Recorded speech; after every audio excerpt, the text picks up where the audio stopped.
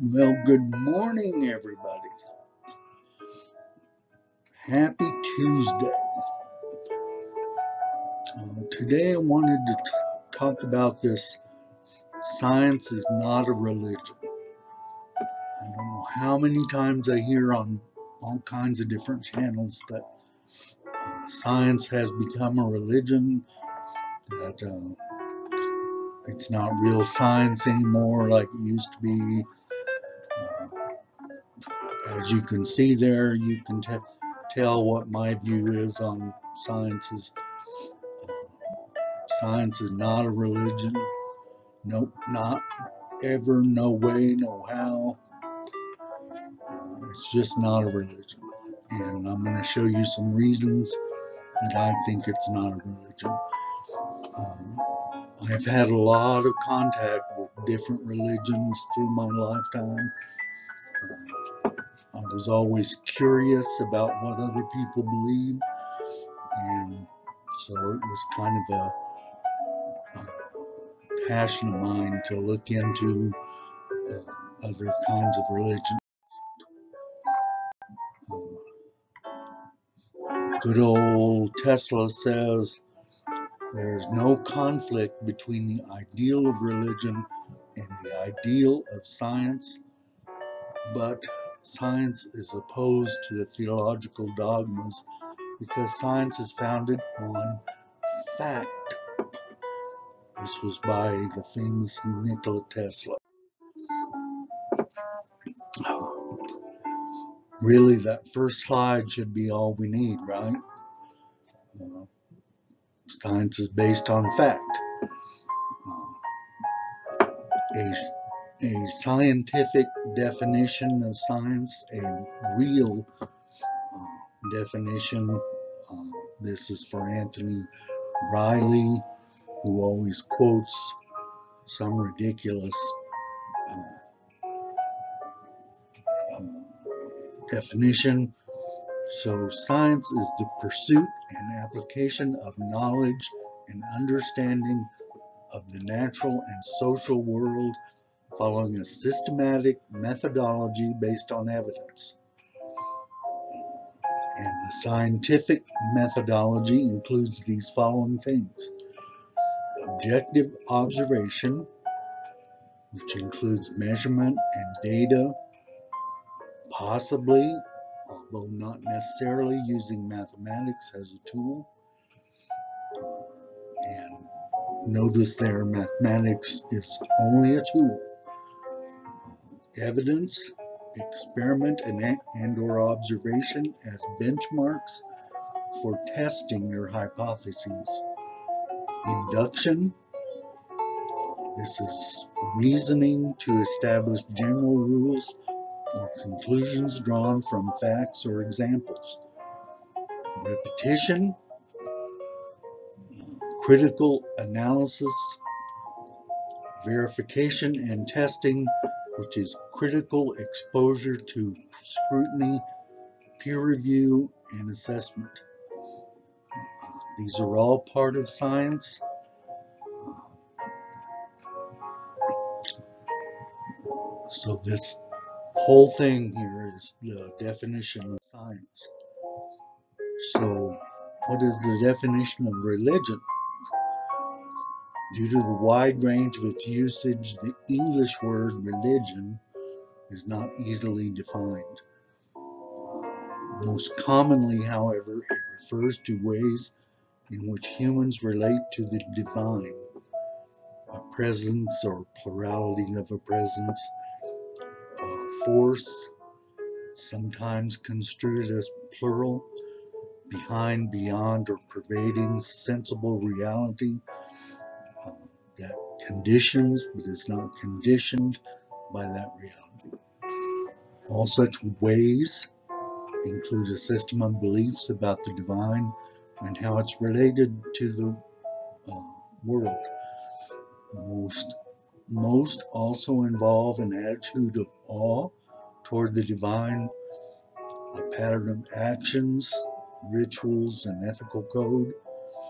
By extension, religion is often used to refer to systems of beliefs and related practices that play an analogous role in people's lives.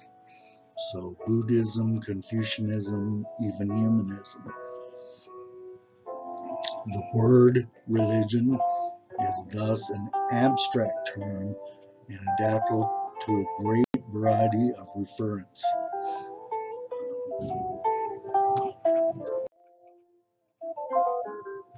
So, religion versus science. What is the uh, idea here? Well, this topic opens up a dangerous can of worms. There are fan fanatic science deniers and just as fanatic atheist religion bashers. And this following rest of this slide is just my personal thoughts. Religion is based on faith and an emphasis on the spiritual and the next world. Science is based on hard facts with continuous hypothesis. Emphasis is on the physical and the current world. Religion promotes charisma and intangible qualities in their leadership. There is very little interest in higher education, credentials, or accountability. All you care about is does this guy make me feel good? Logic and proof are left to one or two. There's no interest in verify, validate, and repeat. Science approaches accomplishments and the tangible. There's an ongoing compulsion for further education and sharing knowledge.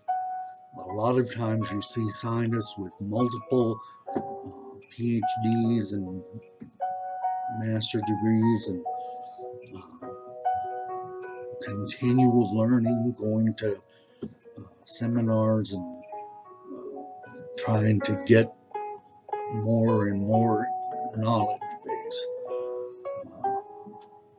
Credentials and experience give credibility. Let me repeat that. Credentials and experience give credibility.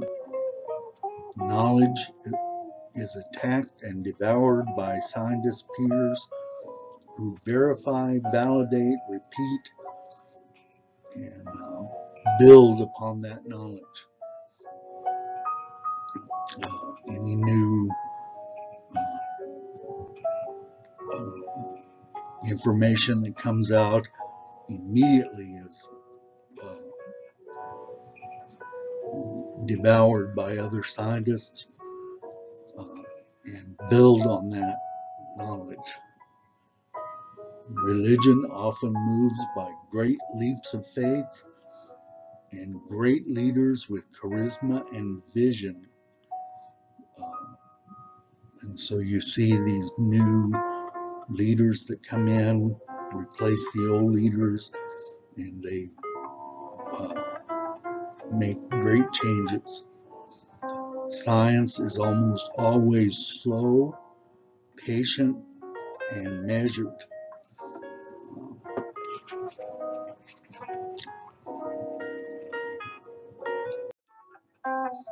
Here are some, it's just a table. I just kind of wanted to show a little bit of the different uh, things that have to do with uh, religion, and I included over on the on the right there flat earth and science. Uh, you can see what the different religions believe about God flat earthers usually believe one God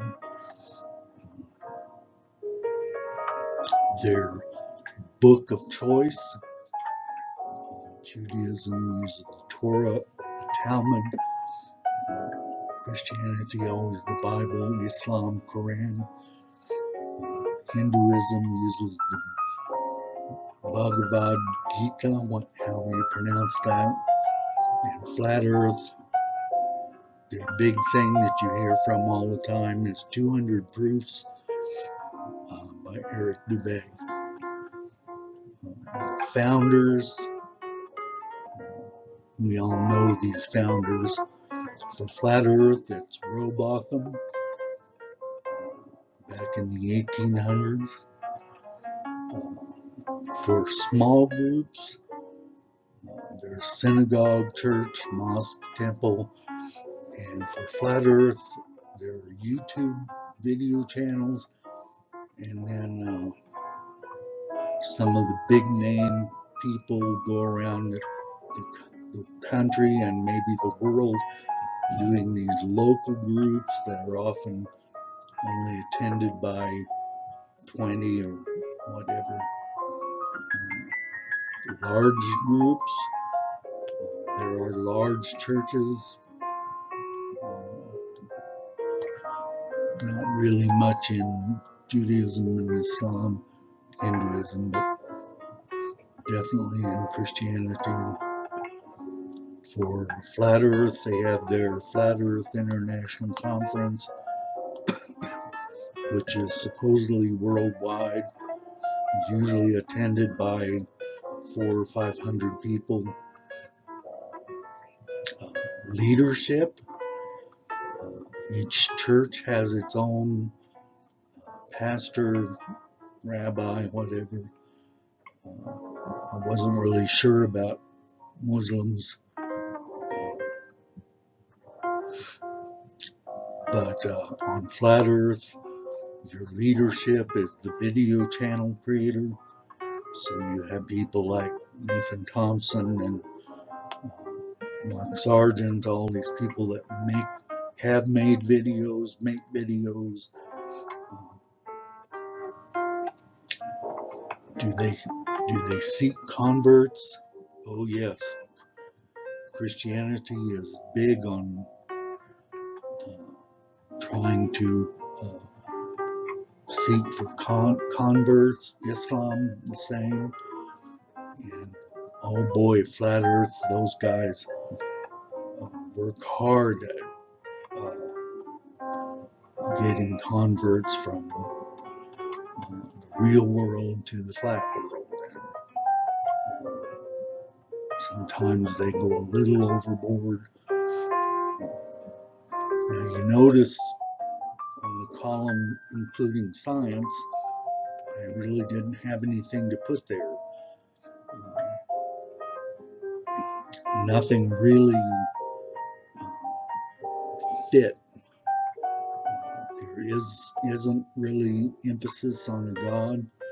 There is no central book like the Bible.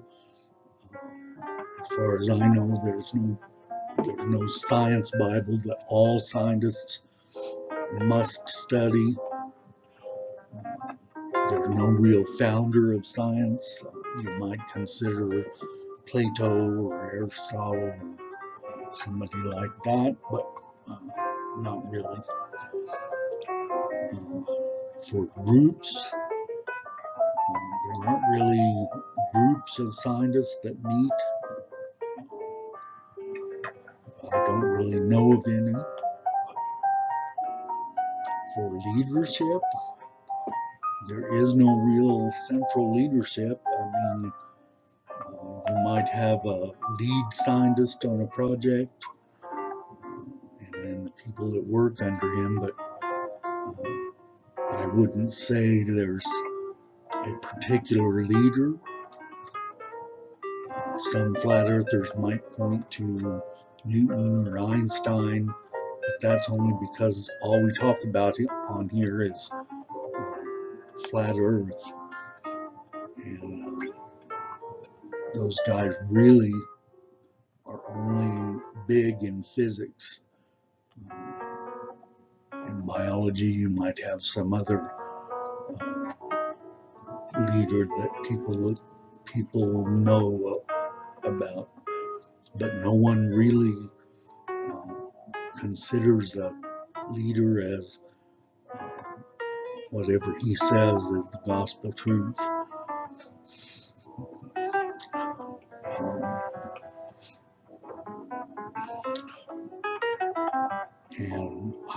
What you would call seeking converts. There are uh, scientists that go to classrooms and talk about uh, what they do and how it works, and encourage students that they can do what they want to do. But um, I really don't know of any that